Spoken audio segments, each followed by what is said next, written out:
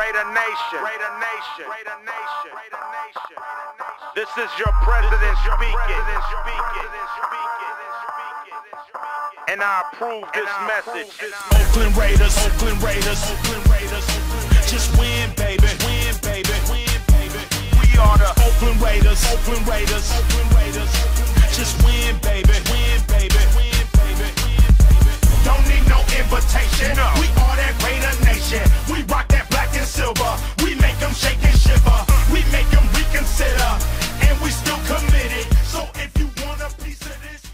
Welcome, Raider Nation. Welcome back to the Raider Critique. Now, I haven't gone over anything throughout the preseason, but we did just see a first week one season win by the Raiders for the first time in a long time. And I'll tell you what, to be honest, thank you, offense.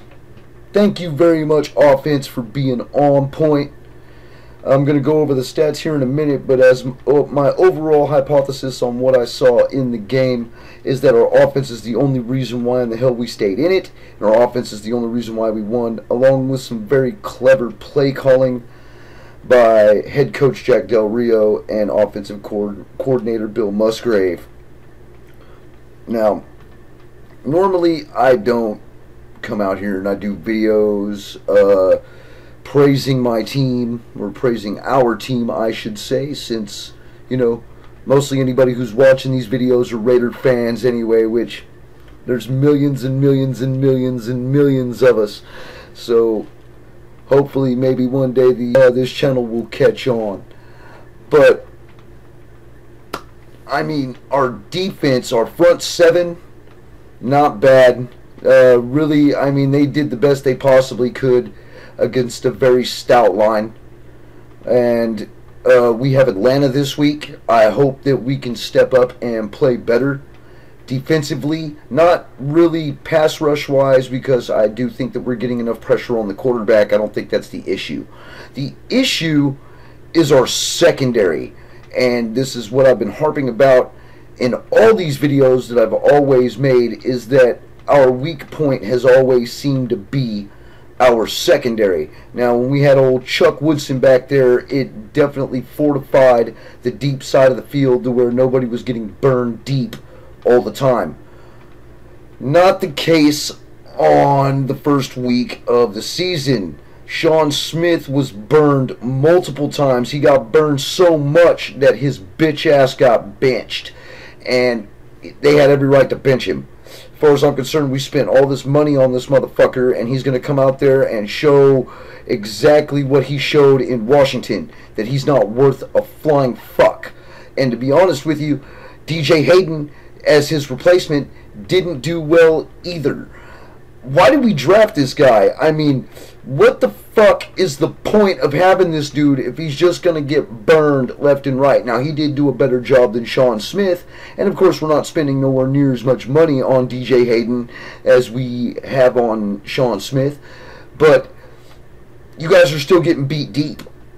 David Amerson is the only decent looking corner on the team, and he can't be perfect. I mean, wh- what the fuck?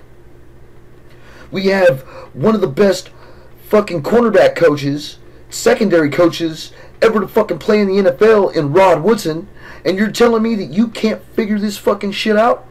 You know, I mean, you guys are professionals. You play football. Sean Smith, dude, you don't get, you don't let the dude get behind you, man. You don't sit there and keep running when you know homeboy's gonna do a button hook. You were burned so many times that game that you deserve to be benched. You deserve to ride the pine. You literally do because that's not what the hell you you've been paid to do. You did not fucking. They didn't pay you to come in and suck. I mean, give me a break, man. I mean, you you you you've gotten a second chance. Hell, you've gotten a third chance. Now over here on the dark side, and is the and this is how you repay us. Really, this is how you repay us. You're gonna get burned, and you're gonna get fucking shit talked about you online since you can't even hang with a fucking number one wide receiver. Dude, come on. Hang with the number one wide receiver? You can't even hang with the number two, dude. Give me a break, man. No wonder why Kansas City cut your ass. You know what I mean? They're laughing all the way to the fucking bank now that they got your money. You know what I mean? And they're now you're our fucking problem. Tighten the fuck up back there, dude. Tighten up. All right, let's. All right, now that I'm done with the fucking rant and raving, let's go ahead and go over the offensive statistics of what we went through on week one. So that's actually more interesting than me bitching about Sean Smith and how he likes to blow coverages. You know. Total, uh, total first downs. We had 25 first downs, and our opponent had 27 first downs.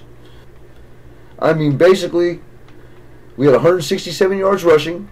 Our offensive plays for average uh, was 7.6. Our total offensive yards was 486. So, I mean, Derek Carr had a wonderful game. You know, Drew Brees threw for 507 yards on us, guys. You know what I mean? 507 yards. I mean, that says it all right there, Sean Smith, DJ Hayden. 507 yards. Yeah, this is so this is how so this is how we're going to play secondary in uh, in Oakland, right? 507 yards. Jesus. Well, at least Derek Carr did good. He had 24 of 38 for 319 yards, a 63.2% completion percentage, 8.4 yards per attempt, one touchdown, no interceptions. His longest pass was 43 yards. Now, running backs, the Latavius Murray didn't look all that bad. It was 14 attempts for 59 yards and an average of 4.2. It's a whole lot better than Darren McFadden's 3.3 when he played for us. So I still think that we upgraded at running back, considering that uh, Darren McFadden really did have a good year last year for Dallas, although he is hurt now. So don't think I don't know that shit. Of course his ass is hurt, man. He was always fucking injury prone. Jalen Richard, three attempts for 84 yards. Man, this guy had such a great showing. I actually picked his ass up for my fantasy football team. I hope to God that he has a good game. But knowing that I picked him up, yeah, it's probably going to give him bad luck, guys. I'm sorry. You know, I, I probably shouldn't have done that yet. DeAndre Washington, man. DeAndre Washington had five attempts for 14 yards. Now, I don't understand why everybody's been so high on this guy. He's a small scat back he does have some hit power about him, but if you know anything about the Raiders, you guys already know we don't do well with small scat backs because of our zone blocking scheme. I mean, it's just the bottom line. Scat backs do not work. That's why Darren McFadden didn't work. That's why uh, Napoleon Kaufman didn't really work. You know, Marcus Allen was our best scat back ever. And, you know, even he is foreshadowed by Bo Jackson. You know, we've always had better luck with bigger dudes like Tyrone Wheatley, Tom Rathman, you know, nice big stout backs who might not be the fastest dudes, but they're definitely going to get by that first hit because zone blocking fucking sucks. Period. Michael Crabtree, seven receptions for 87 yards. Amari Cooper, six for 137. It's about damn time, man. Sitting there looking at preseason, I didn't think he was ever going to come out of his shell. I figured he was going to be in a sophomore slump or something, man. I'm talking about giving me a heart. At least he's starting to do well. And then, of course, you know, we had three receptions to Clive Walford. Taiwan Jones had two for 17. Seth Roberts, two for 19. He also had one drop. Seth, man, hold on to the ball. You know? I know Marquette King had four punts. They're at least saying that for a 49.8 yard average. That's not bad at all. All right. Well, let's see what they say about us defensively. All right, defensively. Reggie Nelson, the highlight of our secondary, with eight total tackles, seven solo, one assist. Malcolm Smith, eight tackles, four solo, four assists. Khalil Mack, seven total, four solo, three assists. No sacks. DJ Hayden, five total, four solo, one assist. That's because they kept throwing it that way. Why wouldn't they when you can't stop it? You know? Ben Heeney had five tackles, three solos, two assists. You know, Justin Ellis had three tackles. Denico Autry had three tackles, one solo, two assists. Man, the we only had one sack, which came from Bruce Irvin, and he only had two total tackles and one solo tackle and one assisted tackle with one sack. You know what I mean? Oh yeah, and a fumble. So he did cause. Oh, look at look at old Sean Smith here. Sean Smith, one total tackle, one solo. That's all he did all game long. That that that should tell you something about Sean Smith. Look, dude, if you ain't gonna tighten up, bro, you're gonna be on the bench. I'm telling you right now, this is a new Raider franchise, a new Raider organization. They think things a little bit differently, man. You can't come in here and suck no more. That's Hey, sucking is not going to get you anywhere here except for your ass straight fucking in free agency. You dig what I'm saying? So anyway, that's what we did against New Orleans. We barely fucking won.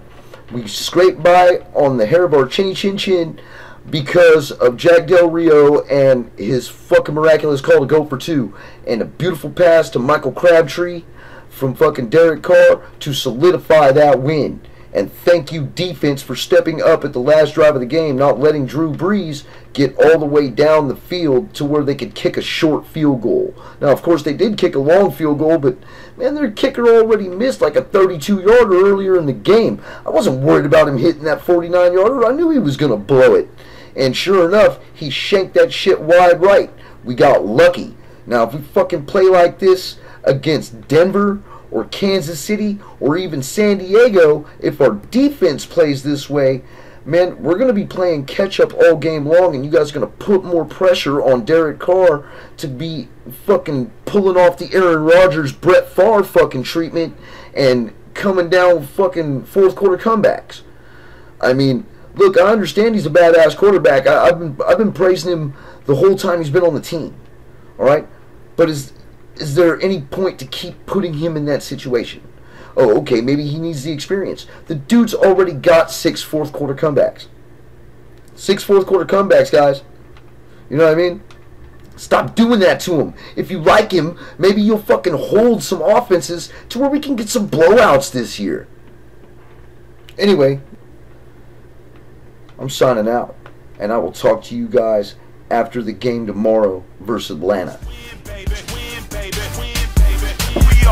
Oakland Raiders, Oakland Raiders, Oakland Raiders. Just win, baby, win, baby, win, baby. Don't need no invitation. No. We are that Raider Nation. Yeah. We rock that black and silver. Rock, we rock. make them shake and shiver. We make them reconsider. And we still committed. So if you want a piece of this, you can come and get it. I'm the president of the Raider Nation. Please use this as motivation.